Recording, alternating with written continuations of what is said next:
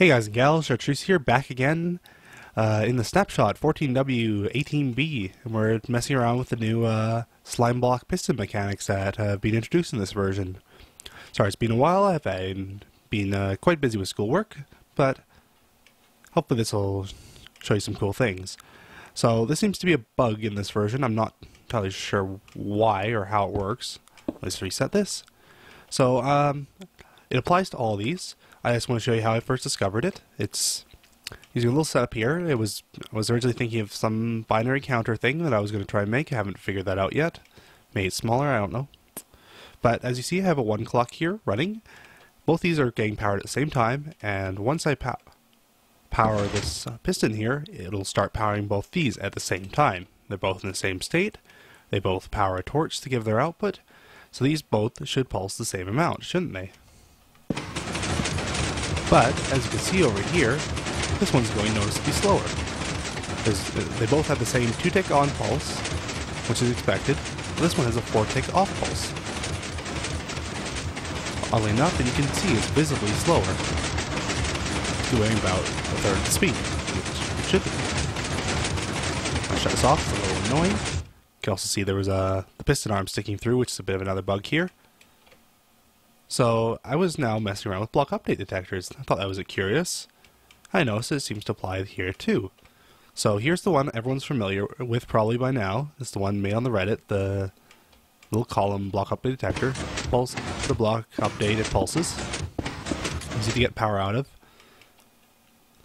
Uh, and then, but over here on this one, um, actually, let's remove this. This is the same thing. This is diagonally powering this one, so it's still a block update detector, pushes up. But curiously, when you do that, watch this one, it goes into an oscillation cycle, which is which you might know from other block up detectors seems to be when it runs a bit too fast. So but if I add another block here on top of it, it stops, and now acts like this one.